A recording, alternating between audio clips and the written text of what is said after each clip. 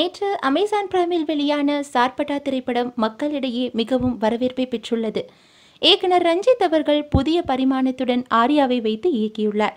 குத்துச்சண்டையில் வெற்றி வீரனாக வளரும் ஆர்யா அவர்களின் நடிப்பு அற்புதம்.